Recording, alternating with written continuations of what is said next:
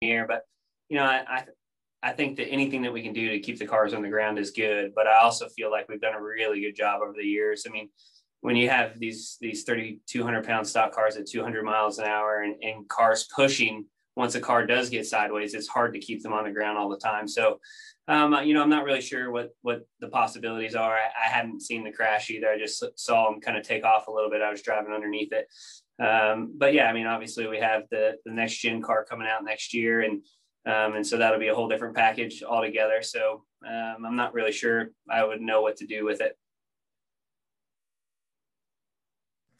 All right, we're going to take our next question from Jeff Gluck. Go ahead, Jeff. I think the teams are, you know, getting the cars too fast a little bit. I think we could go slower and still put on a good race. I mean, maybe three, four mile an hour. So I don't know how they would go about that, but um, but no, I feel like this package is really good. I feel like it's one of the best speedway packages we've had in a while.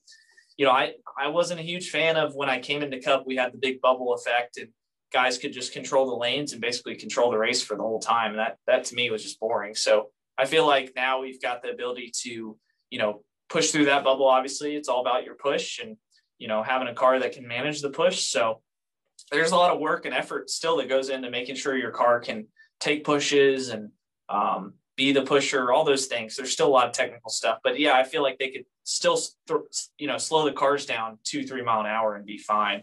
Um, yeah, I think the teams they made that incremental step to slow them down, and we, you know, all the teams quickly got that back. So I feel like you know it's no big deal if we were running 195 around here instead of you know 199.